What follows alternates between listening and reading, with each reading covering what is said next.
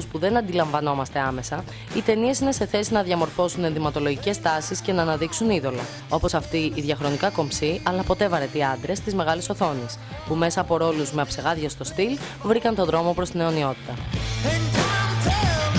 Χαρακτηριστικό παράδειγμα ο Ρίτσαρντ Γκίρ στον εμβληματικό του ρόλο Επάγγελμα Ζυγκολό.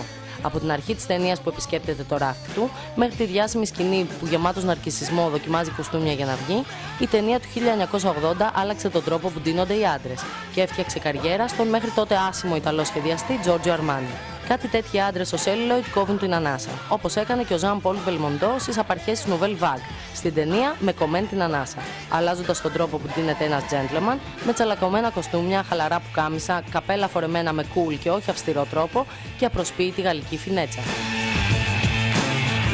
Τα είδωλα δεν φτιάχνονται τυχαία, αλλά μια ματιά στην original ταινία Υπόθεση Thomas Crown αρκεί για να καταλάβει κανείς γιατί 44 χρόνια μετά ο Steve McQueen εξακολουθεί να θεωρείται ίσως ο πιο stylish άντρας που πέρασε ποτέ από τη μεγάλη οθόνη. Αλλάξατε την οπτική μου, σας ευχαριστώ, είπε κάποτε ο Ζαν Πολ Γκοτιέ στον Μάλκομ Μακδάουελ, πρωταγωνιστή του θρηλυκού έργου του Stanley Kubrick, Κουρδιστό Πορτοκάλι. Τα λευκά παντελόνια, τα άσπρα πουκάμισα, οι μπότες του πεζοναύτη και τα μπόλερ καπέλα τότε ήταν πρωτοποριακά και σήμερα αξίζουν μια θέση στο μουσείο. Όπως μια θέση στο μουσείο αξίζει και το μαύρο δερμάτινο τζάκετ που έγινε σύμβολο μιας αντίθεσης γενιάς, αφού του εμφανίστηκε στη μεγάλη οθόνη το 1954 επάνω στον Ατίθασο Μάρλον Μπράντο. Εν μία νυχτή, το μαύρο περφέκτο έγινε σύμβολο αντρισμού και απαγορεύτηκε από πολλά αμερικάνικα σχολεία λόγω του επαναστατικού του χαρακτήρα. Στην κορυφή του κινηματογραφικού ανδρικού στυλ όλων των εποχών, το περιοδικό GQ τοποθετεί την ταινία του Alfred Hitchcock στη σκιά των τεσσάρων γιγάντων και τον Cary Grant με το άνετο σκούρο γκρι μπλε κουστούμι του, το λευκό πουκάμισο και την ασορτή μεταξωτή γραβάτα. Και αν στην άλλη άκρη του Ατλαντικού είχαν τον Cary Grant, στην Ευρώπη είχαμε τον Μαρτσέλο Μαστρογιάννη, που θα μείνει για πάντα αξέχαστος από την ταινία Οκτώμισι του Φελίνι, φορώντας το καλοραμμένο Brioni κουστούμι του, τη λεπτή γραβάτα του και τα γυαλιά με το μαύρο σκελετό. Ένας ακόμα Ιταλός σκηνοθέτης έφτιαξε το 1966 μια ταινία σταθμό για το στυλ. Ο Μικελάντζελο Αντωνιόνι δημιούργησε τον blow-up και τον αισθητικά απολαυστικό κόσμο του φωτογράφου Τομάς, ο οποίος ακολουθεί το avant-garde στυλ του swinging Λονδίνου με λευκά παντελόνια, γαλάζια και λευκά πουκάμισα με γυρισμένα μανίκια και βελούδινα blazers. Τη μοντέρνα εκδοχή του ανέμελου Playboy ενσάρκωσε όμως ιδανικά και ο Jude Law στο remake της ταινίας Alfie, όπου δίδαξε στους άντρες πως ένας γόης μπορεί να δείχνει υπέροχος ακόμα και με ροζ που κάμισο. Ενώ για να κάνει τις γυναίκες να παραλυρούν δεν χρειάζεται ακριβό αυτοκίνητο, αρκεί και μία βέσμα.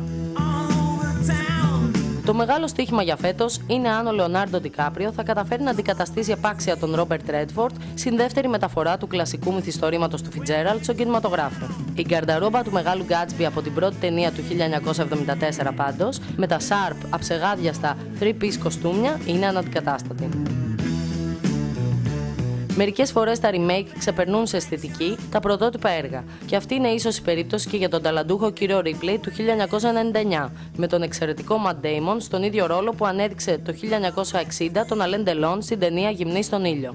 Πρωταγωνιστή μια ξεκούραστη καλοκαιρινή καρταρόμπα γεμάτη πεζ παντελόνια με γυρισμένα μπατζάκια, λινά που κάμισα, κοντά σόρτς και παστέλα αποχρώσεις.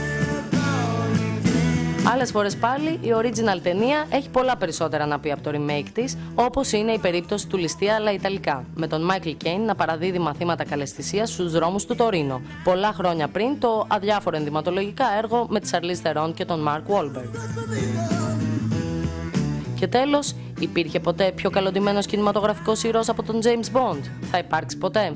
Μια μοναδική ιστορία παράμιλου στυλ συνηγορούν πως όχι. Από τον γεμάτο αυτοπεποίθηση Σον Κόνερι, μεταραμένα στη Σάβιλ Ρόου καθημερινά κουστούμια του, και το σύγχρονο δανδί Pierce Brosnan, μέχρι τον τελευταίο Bond, Daniel Gregg, ντυμένο από τον μέτρη του είδους Tom Ford, ο πράκτορ 007 έγραφε και συνεχίζει να γράφει νέα κεφάλαια στυλ σε κάθε ταινία του. Είναι ο πράκτορας που σκοτώνει με κουστούμι. Και το κοστούμι του κάθε φορά σκοτώνει.